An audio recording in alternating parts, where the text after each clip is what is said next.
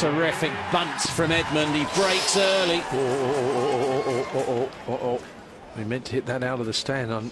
Did he hit something? Did he hit the umpire there? Yes, he did. Dear, uh oh dear. Brian Earley, Uh-oh. the tie referee, is rushing to the court. Oh boy.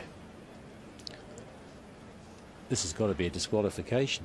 It's stunned the audience into silence. There's the incident. Oh boy, I tell you, that does not. Uh, it looks worse the second time you see it. Wow.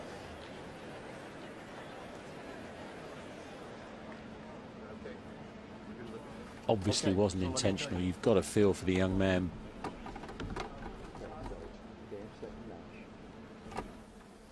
Ladies and gentlemen, games and match, Great Britain. 6-3, 6-4, 2-1 default. Well, that's such a shame that this tie would end in that way.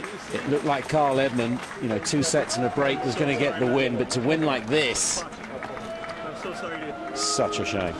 Yeah.